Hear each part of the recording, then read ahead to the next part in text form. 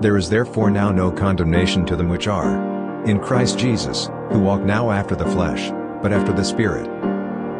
For the law of the Spirit of life in Christ Jesus hath made me free from the law of sin and death. For what the law could not do, in that is was weak through the flesh, God sending his own Son in the likeness of sinful flesh, and for sin, condemned sin in the flesh. That righteousness of the law might be fulfilled in us, who walk no after the flesh, but after the Spirit. For they that are after the flesh do mind the things of the flesh, but they that are after the Spirit the things of the Spirit. For to be carnally minded is death, but to be spiritually minded is life and peace.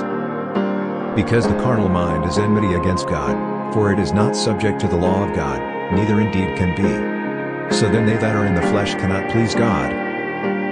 But ye are not in the flesh, but in the Spirit, if so be that the Spirit of God dwell in you. Now if any man have not the Spirit of Christ, he is none of his. And if Christ be in you, the body is dead because of sin but the Spirit is life because of righteousness.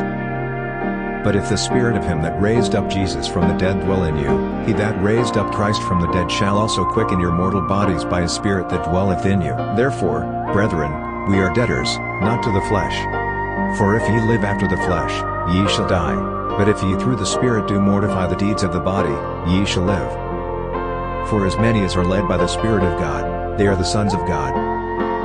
For ye have not received the spirit of bondage again to fear, but ye have received the spirit of adoption, whereby we cry, Abba, Father. The Spirit itself beareth witness with our spirit, that we are the children of God.